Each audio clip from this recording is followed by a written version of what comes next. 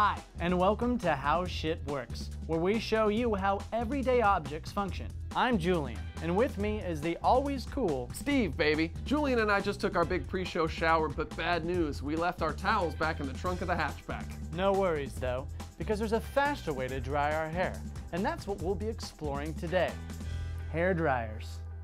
The electric current from your wall socket at home is used to power a high torque DC motor. This motor activates a fan, which begins churning, thereby moving outside air through the apparatus, slowly unlocking the cage of a tiny evil spirit. That's what the DC in DC motor stands for. Demon charged. The evil spirit comes to us from prisons in Beijing, where some of the world's most demented criminals are housed. As these prisoners die, workers capture their spirits and place them in miniature boxes covered in gemstones that repel dark entities. One box is placed in each hair dryer. When the cage door is released, the cursed spirit is animated. This triggers seeker demons in hell, who are filled with an eternal hunger to capture the spirits of the wicked for Satan. A vortex to hell is opened inside the hairdryer to collect the soul and drag it down to the underworld. But no spirit wants to go to hell, no matter how evil. And you'd be left with wet hair.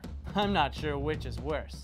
That's where the box covered in gemstones comes into play. The jewels repel the seekers who are unable to reach the evil spirit, which means the hell vortex remains open as its hot air is channeled out the hairdryer via a plastic polymer tube. And voila, you've got warm air to dry your wet hair.